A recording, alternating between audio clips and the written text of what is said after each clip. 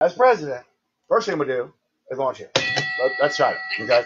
Then I got the button here, but here, this is gonna be Iran. If Iran got something to say, that's Iran. Okay. There we go. All right. Who's talking? Oh, North Korea. What happened? What have I done? Boom. Done.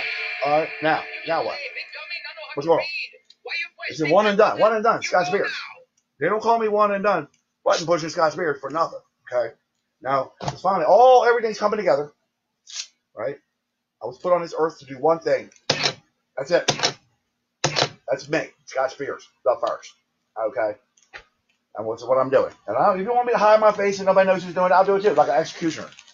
I go like this. It don't matter. I'm wearing it anyway. I'll go like this. Be like the Taliban or some shit.